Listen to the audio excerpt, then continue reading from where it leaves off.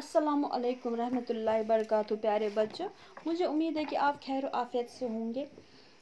जो आज का हमारा टॉपिक है, उसका नाम है Ittefaq of class fourth Urdu. ये एक कहानी है जो मैं आपको पढ़ाने जा रही हूँ। एक ज़माने की बात है, एक गाँव में एक किसान रहता था। उसके तीन बेटे थे। वो तीनों भाई हमेशा आपस में लड़ते रहते थे। वो किसान इन्हें समझाने की, सही रास्ता दिखाने की बहुत कोशिश करता। पर वो तीनों भाई उस किसान की बात नज़रअंदाज करते और हमेशा झगड़ते रहते।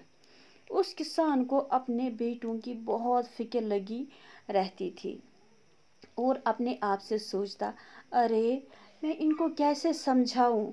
अगर ये ऐसे ही झगड़ते रहे तो लोग इस बात का मौका उठाएँगे और इन्हें नुकसान पहुंचाएँगे। एक दिन उस किसान ने एक तरकीब सोची। उसने अपने बेटों को अपने पास बुलाया और इन्हें कुछ लकड़ियाँ लाने को कहा।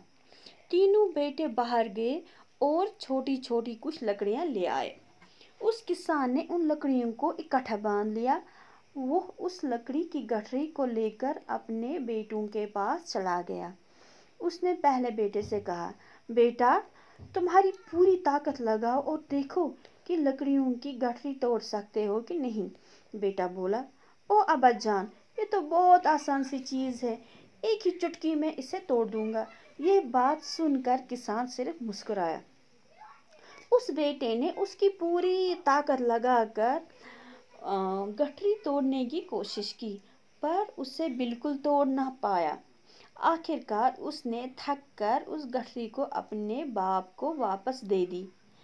उस लकड़ी की गठरी को लेकर किसान अब दूसरे बेटे के पास चला गया। उसने बेटे से कहा, बेटा, तुम्हारी पूरी ताकत लगाओ और देखो कि तुम ये लकड़ियों की गठरी तोड़ सकते हो कि नहीं। बेटा बोला, ओ अबा जान, ये तो इतना आसान काम है, इसको तो मैं एक मिनट में कर दूँगा। और किसान फिर मुस्कुराकर देखने लगा। उस बेटे ने उसकी पूरी ताकत लगाकर उस लकड़ी की गठरी को तोड़ने की कोशिश की, पर वो भी पहले बेटे की तरह नाकाम रहा। आखिरकार उसने भी थक कर वो गठरी अपने बाप को वापस दे दी।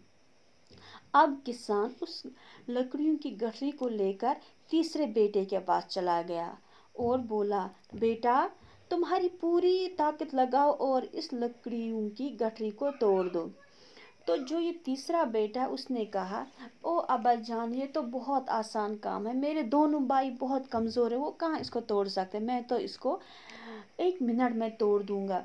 तो उसने भी, तीसरे बेटे ने बहुत कोशिश की, अपनी पूरी ताकत लगाई, पर वो भी इस लकड़ियों की गठरी को तोड़ ना पाया। आखिरकार उसने भी उस गठरी को अपने बाप को वापस दे दी।